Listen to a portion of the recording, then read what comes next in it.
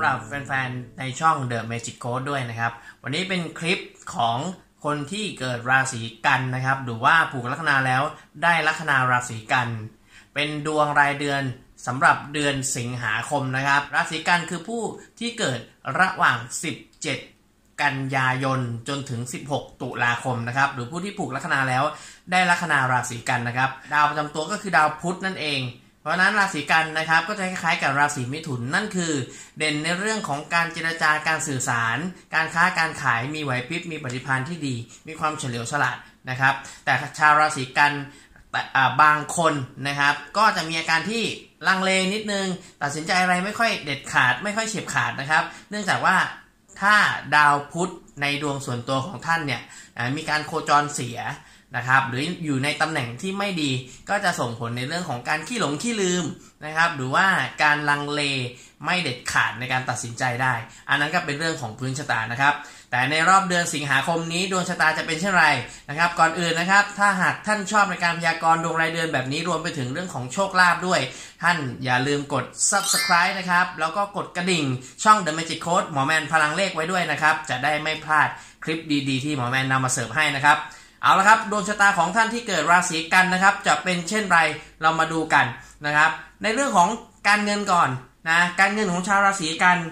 ราศีกันอยู่ตรงนี้นะครับ ดาวเจ้าเรือนการเงินคือกระดุมพระเนี่ยคือดาวศุกร์นะซึ่งดาวศุกร์เนี่ยในตอนนี้ก็อยู่ในตำแหน่งลาภะคือตำแหน่งโชคลาภหมายถึงราศีกันสามารถแสวงหาลาภผล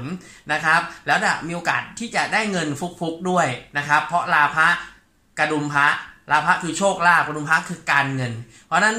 ตำแหน่งนี้มันลิงก์กันอยู่นะครับ มันเชื่อมต่อกันอยู่ แล้วก็มีโอกาสที่ถ้าขัดสนใครก็ตามที่ขัดสน มีโอกาสที่จะได้รับการช่วยเหลืออุปถัมภ์ค้ำชูด้วยนะครับ เพราะว่าตำแหน่งลาภะคือดาวแห่งการช่วยเหลือนะเป็นตำแหน่งเรือนแห่งการช่วยเหลือนะครับนะ แล้วก็ดาวศุกร์เองเป็นดาวแห่งเงินสดด้วย เพราะฉะนั้น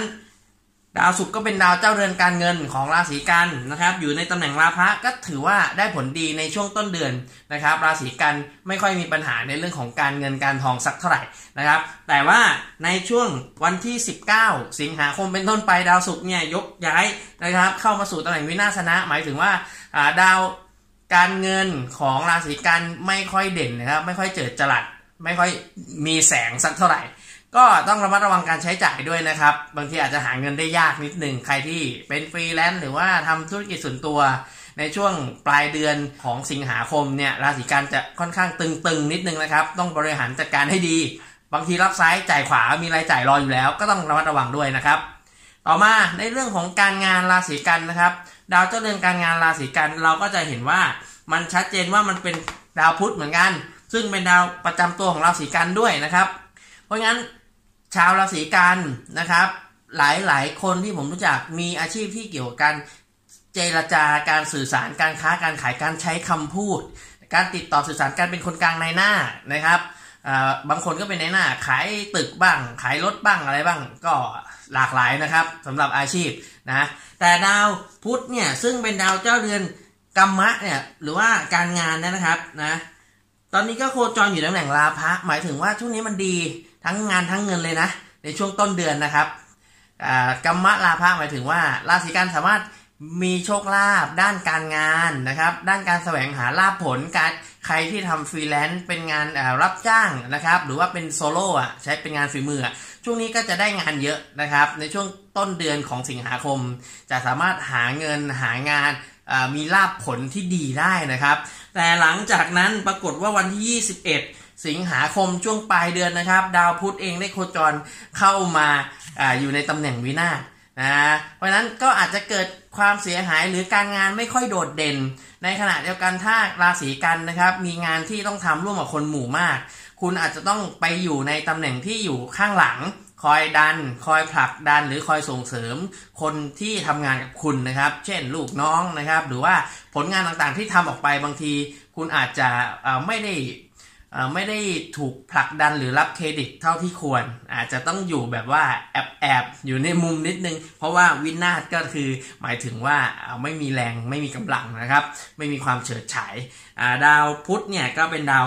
ธาตุน้ำด้วยนะครับ เพราะฉะนั้นเรื่องของการเงินการงานมันจะแมชกันพอดีสำหรับชาวราศีกันนะครับ ต่อมานะครับในเรื่องของความรักชาวราศีกันเนี่ยก็มี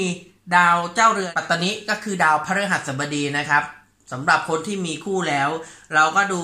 เห็นได้ชัดเลยว่าตำแหน่งดาวปัตตนินะครับ โคจรโยกหน้านะเป็นมหาจักรนะครับ ก็หมายถึงว่า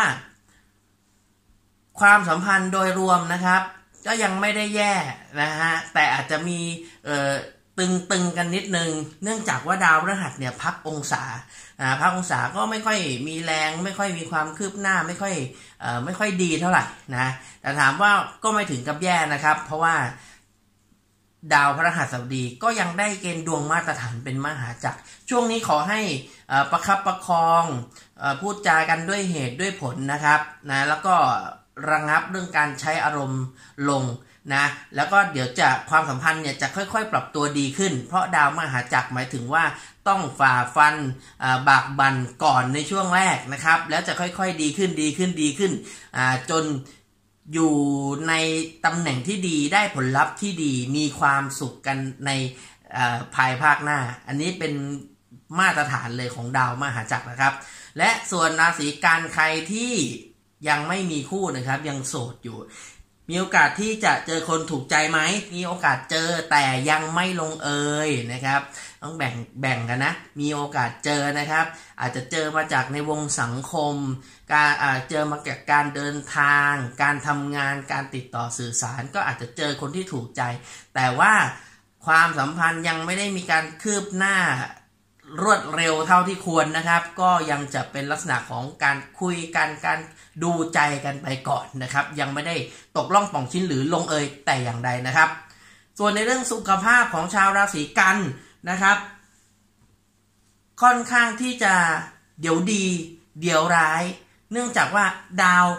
ตำแหน่งที่กลุ่มอยู่ในตำแหน่ง มรณะหรือสุขภาพมันคือดาวมฤตยู ดาวมฤตยูเนี่ยก็คือความพลิกผันไม่แน่นอน เพราะฉะนั้นราศีกันช่วงนี้ถ้าดูแลตัวเองดี ก็จะสุขภาพดี ถ้าเกิดหย่อนในเรื่องของการดูแลตัวเองนะครับ ก็จะเจ็บป่วยได้นะครับ อาจจะมีการเจ็บป่วยโรคแปลกๆมั่งนะครับโรคที่คนอื่นไม่เป็นกันมาแล้วก็แป๊บหนึ่งแล้วก็หายนะเป็นแป๊บๆเป็นพักๆนะครับ แล้วก็หายไป แล้วก็ยังไม่ค่อยแน่นอนถามว่าแข็งแรงร้อยเปอร์เซ็นก็ยังไม่ได้แข็งแรงร้อยเปอร์เซ็นเพราะว่าดาวดวงนี้ก็อยู่ยาวๆไป น่าจะถึงปีอีกสักสามสี่ปีแล้วนะครับ ดาวมฤตยูถึงจะย้ายออกนะครับ เพราะฉะนั้นก็ให้ดูเรื่องของสุขภาพด้วย ในขณะเดียวกันดาวเจ้าเรือนสุขภาพเนี่ยนะครับ ก็มาโคจรเป็นนิดหมายถึงความตกต่ำนะแต่ยังโชคดีที่อยู่ในตำแหน่งลาภะชาวสีกันก็ต้องระวังในเรื่องของ บริเวณตับไตไส้พุงเครื่องในข้างล่างนะครับ แล้วก็บริเวณตั้งแต่ใต้หน้าอกลงไปข้างล่างเนี่ยนะครับ อาจจะมีปัญหาได้แต่ว่าเรื่องของสุขภาพก็แล้วแต่บุคคลนะครับบางคนเนี่ยเจ็บป่วยไม่เหมือนกัน แต่ภาพรวมแล้วก็ควรจะระมัดระวังอยู่เพราะว่าไม่ได้แข็งแรงร้อยเปอร์เซ็นต์นะครับ ตรงนี้ก็ต้องระวังด้วยเนาะส่วนเรื่องโชคลาภนะครับ ในช่วงต้นเดือนเนี่ยวันที่หนึ่งเนี่ยเราก็จะเห็นว่า ดาวเจ้าเรือนโชคลาภราศีกันนั่นคือดาวจันทร์เนี่ยมาเป็นเกษตรเห็นไหมครับ แล้วก็มีดาวศุกร์การเงินมาเป็นราชาโชคอยู่ตรงนี้ ก็มีโอกาสที่ราศีกันเนี่ยจะมีโชคมีลาภจะมีโอกาสที่ดีเข้ามานะครับพอไปวันที่ 16 สิงหานะครับ ในช่วงวันที่ 16 เนี่ยดาวศุกร์เองนะครับ ก็จะยังอยู่ในตำแหน่งโชคลาภตำแหน่งลาภะก็คือเป็นราชาโชคนะ ก็ดาวการเงินเป็นราชาโชค เอ๊ะ ก็เหมือนจะมีโชคลาภ นะครับ แต่ดาวโชคลาภดาวจันทร์นะครับ โคจรมาอยู่ในตำแหน่งอริหมายถึงถูกปิดกั้น หรือว่ามีอุปสรรคนะครับ ถูกขัดขาอยู่อันนั้นมันก็เลยไม่ค่อยเด่นเท่าไหร่ในวันที่ 16 อาจจะมีโอกาสได้แค่นิดหน่อยเท่านั้นไม่ถึง 50%นะครับ คุณจะมีโชคลาภที่อันเนื่องมาจากการทำงานซะมากกว่าสำหรับชาวราศีกัน รวมไปถึงมีโชคนะเกี่ยวกับเรื่องของรักๆใคร่ๆด้วยนะครับเนาะ เอาละครับ ก็ขออวยพรให้ราศีกันนะครับ ก็เจอกับเรื่องที่ดีๆ แล้วก็ดวงดีตลอดเดือนสิงหาคมด้วยกันสำหรับใครที่ชื่นชอบอคลิปแบบนี้นะครับ อย่าลืมกด subscribe แล้วก็กดกระดิ่งช่อง The Magic Code หมอแมนพลังเลขเอาไว้ และใครจะตรวจดวงส่วนตัวนะครับ สามารถแอดไลน์หรือว่าเข้าไปติดตามในเพจ The Magic Code หมอแมนพลังเลขได้เลยนะครับนะฮะแล้วพบกับหมอแมนได้ใหม่ในราศีต่อไป อย่าลืมติดตามนะครับ วันนี้ลาก่อนสวัสดีครับ